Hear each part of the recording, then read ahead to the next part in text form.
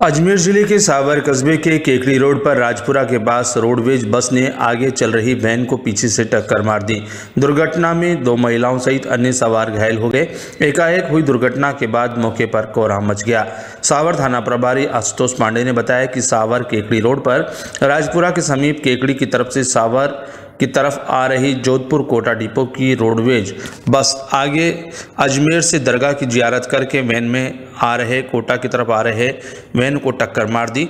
अचानक आगे चल रही वैन के रोडवेज़ ने लापरवाही से इस तरह टक्कर मारी कि वैन सड़क से नीचे उतर गई। वैन का पीछे का हिस्सा पूरी तरह पिचक गया। दुर्घटना में घायलों को सावर के राजकीय चिकित्सालय में पहुँचाया गया। कोटा की नारदा निवासी महिला रेशमा बानू व सहनाज को इलाज के लिए भर्ती किया गया। मौके पर पहुँची पुलिस ने कार्रवाई करते हुए रोडवेज़ व वैन को जब्त कर लिया।